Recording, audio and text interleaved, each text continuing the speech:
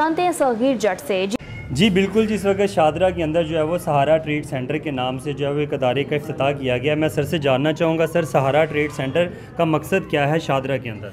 अच्छा ये वैसे सहारा मुझे नहीं पता था इसका नाम है। ये ये हमारे वाला सहारा नहीं है लेकिन नाम इन्होंने फिर भी अच्छा रखा है। इसका इन्होंने जो मकसद बनाया है वो मेरा ख्याल है ये किया कि इसको लोगों को ट्रेनिंग दे के मुल्क से बाहर भिजवाना है। और वहाँ जाके ज़ाहिर काम करेंगे और इससे फ़ायदा होगा।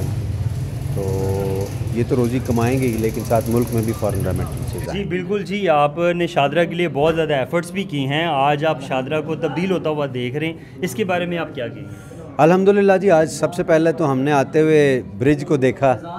तो वो अपनी एफ़र्ट्स थोड़ी याद आई हमें जो हमने पीछे पड़े हुए थे हम खान साहब के। और बुजदार साहब के कि इधर हमने ब्रिज अनाउंस करें ब्रिज अनाउंस करो। करा के ही हमने दम लिया था। और मैंने खान साहब से कहा था, और कुछ ना करें। इधर पाकिस्तान, लाहौर में जब लोग दाखिल होते हैं तो इतना बुरा माहौल होता है। गंदगी नज़र आती है हर तरफ़। ट्रैफ़िक जैम होती है। तो इधर खुले रास्ते में लोग दाखिल हों, फूल लगे हों ब्रिजेस बने हों तो उसका मज़ा आए।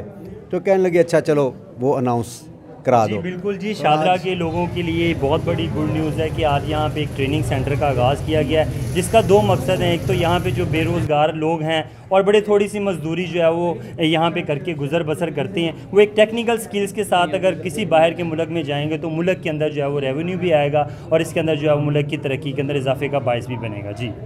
नुमाइंदा सेवन न्यूज़ देखिए आपका बहुत शुक्रिया।